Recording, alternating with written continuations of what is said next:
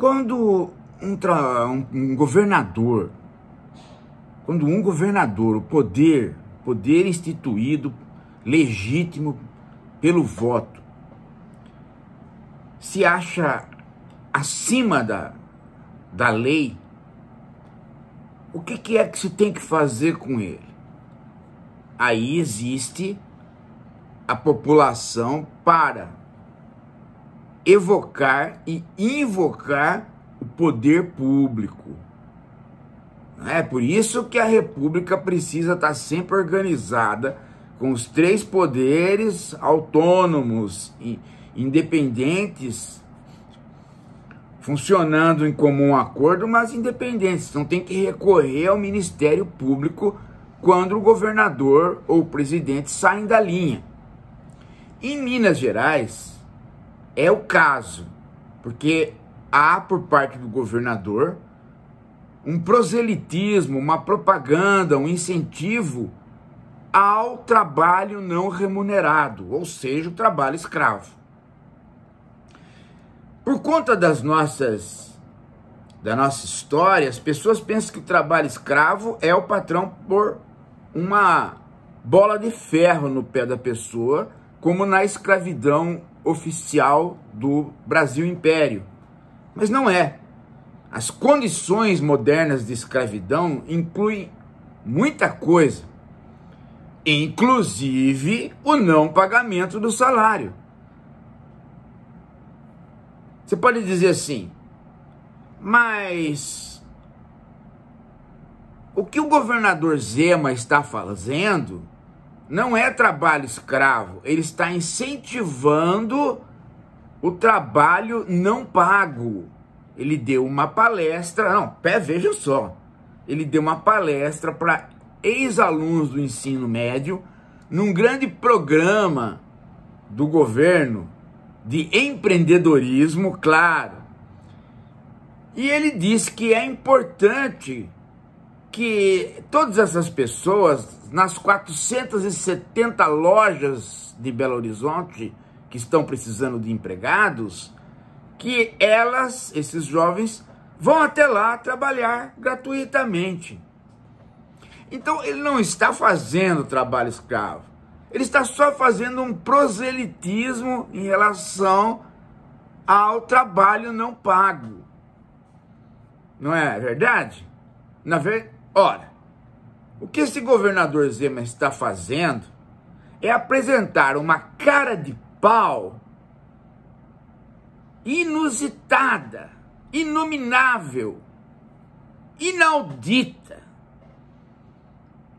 Seu governador está sim fazendo proselitismo pelo trabalho escravo e está, de certo modo, instituindo extraoficialmente o trabalho escravo por uma razão simples. Ele é empresário. Ele tem amizade com as 470 lojas. Ele está falando que as pessoas devem ir até lá e trabalhar de graça, porque vai abrir portas para essas pessoas. Então, o que ele está fazendo? Ele está enganando as pessoas. Ele está enganando a juventude.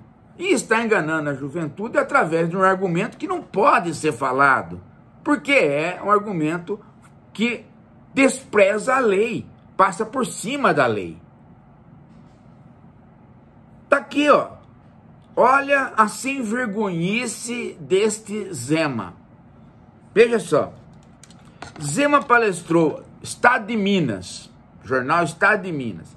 Zema palestrou para estudantes e egressos da rede estadual de ensino que participam do núcleo de empreendedorismo juvenil do Serviço Brasileiro de Apoio à Empresa em Minas Gerais, Sebrae Minas Gerais. Tem um, né, um convênio com a Secretaria de Estado da Educação e eles ofereceram cursos. Aí o que, que vai lá o governador fazer? O governador vai lá e diz a seguinte coisa. Aqui, ó. Vocês têm que ter visão de longo prazo. Não pode querer tudo imediato. um salário não é a melhor escolha profissional. Não! Às vezes você quer ser uma coisa e não pode. Então você vai até lá e trabalha de graça. Olha aqui. Às vezes um restaurante há dois empregos, duas vagas. Uma para ser garçom e ganhar 3 mil. A outra para ser ajudante e ganhar 1.500. Hã? Mas você pode ganhar menos e ficar ao lado do chefe, que é um cara bacana, famoso. Você vai aprender a fazer muito mais coisa diferente, ganhando menos, mas estando ao lado do chefe. Se você lambe bunda do chefe, você vai aprender muita coisa. Vale a pena ganhar menos. Quer ver? Olha outro conselho. Hã? Olha só aqui. Você está muitas vezes trabalhando gratuitamente, mas do lado do, do, do, sujeito que é o cara na profissão. Então você está ali aprendendo muito com ele, sendo amigo dele. Ele vai abrir portas para você. Aprenda uma coisa para toda a sua vida, jovem. Esse Zema é um babaca. Quando você oferece no capitalismo o seu trabalho como não trabalho, como uma ajuda, como gratuito, você simplesmente se desqualificou perante o cara. E quando o cara tiver que indicar alguém, ele vai indicar aquele cara que cobrou mais dele e não aquele cara que trabalhou de graça, porque aquele cara que trabalhou de graça ele vai sempre achar que ele não sabe nada e por isso trabalhou de graça. Essa é a mentalidade do capitalismo.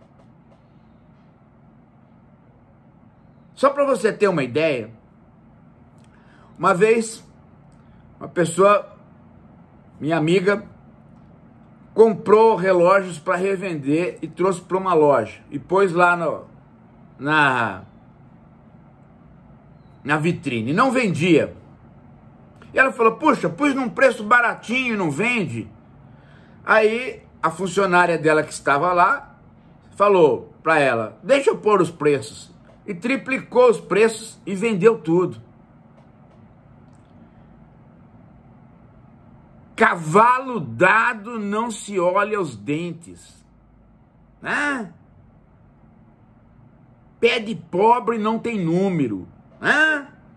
Tem vários desses ditados que mostram que as condições pelas quais você oferece uma coisa, dependendo delas serem condições muito fáceis, elas simplesmente vão estar fora do mercado, vão se desvalorizar. É aquela velha história de querer entrar pela contramão, né? Ou de querer entrar como a Bolsonaro queria pôr a filha dele no, no colégio militar, sem exames. Ou seja, já desqualificou a própria filha. Ah, ele próprio já desqualificou a própria filha. Quer dizer, ela é incompetente para passar no exame. Então, ela precisa de uma ajuda do pai para fazer as coisas sem exame. Então, todas essas situações onde alguém te desqualifica ou você se desqualifica, não se aconselha. Se o Zema está aconselhando isso, e principalmente se ele está aconselhando você participar do trabalho escravo, ele está ferrando a sua vida e mais, ele está ultrapassando os limites da lei. Ele não pode fazer esse proselitismo. Ele não pode sugerir que as empresas, através do governador, tenham uma mão de obra que se oferece a ela. Principalmente ele vir dar uma palestra oficial pelo SEBRAE e pela Secretaria de Educação. Esse governador, esse governador, ele tem que ser, ele teria que ser preso. Imediatamente a Polícia Federal deveria bater na casa dele e falar: o senhor está incentivando e colaborando com qual trabalho escravo? E aí fazer uma batida nas empresas em Minas Gerais, fazer uma devassa. E incluir o governador, sim. Porque é a mesma história da propaganda. Né? O sujeito comete crimes. Mas por que, que ele cometeu crimes? Tem a ver ou não tem a ver com o incentivo de certas pessoas no palanque? Uma coisa é eu falar e acontecer um crime. Outra coisa é eu passar a falar todos os dias, todos os dias, todos os dias, e aí um bando de gente começa a cometer aqueles crimes que eu falei no palanque. Aí você tem que começar a ver né, a culpabilidade da fala. Então, que brincadeira é essa de levar as crianças a acreditar que elas têm que trabalhar de graça? Que brincadeira é essa? Ah, é a brincadeira que eu falei que ia acontecer, pouquíssimo, agora recentemente, por conta das, no, da, da aprovação da reforma do ensino médio. Porque na reforma do ensino médio tem as cláusulas de profissionalização. E para você cumprir o horário necessário à profissionalização, o que que fizeram? Fizeram com que você pudesse, né, apresentar como horas, horas de ensino, inclusive ensino em sala de aula, um documento que você trabalhou ou fez estágio em algum lugar, mesmo não remunerado. Resultado: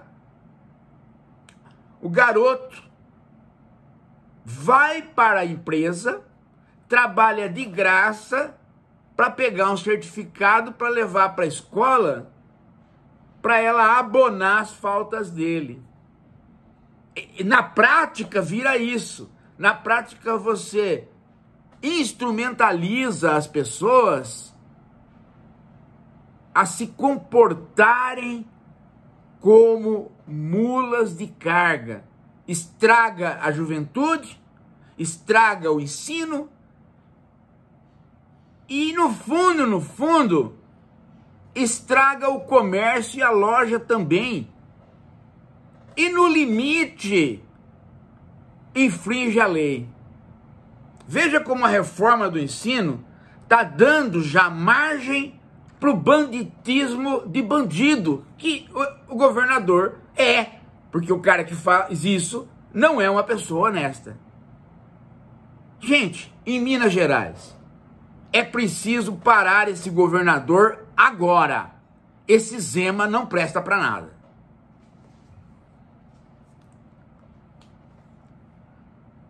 Daqui a pouco a gente volta.